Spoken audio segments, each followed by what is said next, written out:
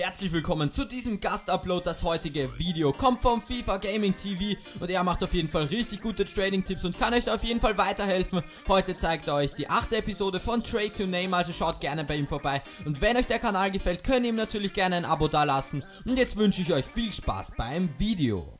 So Freunde, wir fangen direkt mal an zu traden und heute machen wir das Ganze mit Heilungskarten am Anfang. Heute kommen nämlich zwei Trading-Tipps, aber hier der Heilungskarten-Trading-Tipp ist euch ja wahrscheinlich schon bekannt, falls ihr länger auf meinem Kanal aktiv seid. Und ja, auf jeden Fall habe ich die für 200 und 300 Münzen bekommen. Oder eher gesagt, erst Sniped einfach 59. Minute gekauft. Falls ihr dazu nochmal einen Trading-Tipp sehen wollt, dann schreibt es in die Kommentare.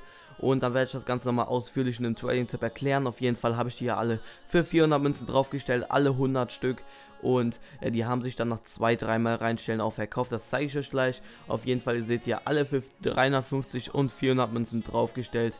Und ja, die gehen natürlich nicht beim ersten Mal weg, aber beim dritten Mal oder so gingen sie dann alle weg. Hier seht ihr, alle 100 Stück wurden verkauft für 400 Münzen. Ich zeige euch hier nochmal alle. Und das war auf jeden Fall richtig nice mit dem Trading-Tipp. Haben wir auf jeden Fall die 8.000 bis 10.000 Münzen auf jeden Fall Gewinn gemacht. Das war richtig nice. Und ja, jetzt fangen wir direkt mal an mit dem zweiten Trading-Tipp.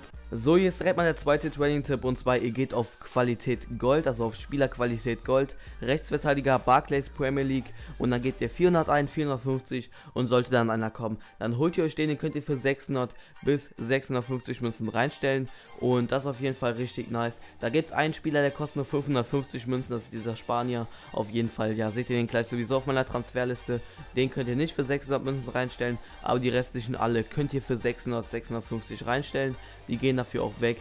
Genauso wie mit hier, den haben wir ein paar Mal bekommen. Und das geht auf jeden Fall richtig gut. Und wir sehen jetzt, wir haben 94.424 Münzen. Ihr seht die ganzen Spieler, mit denen ich das gemacht habe.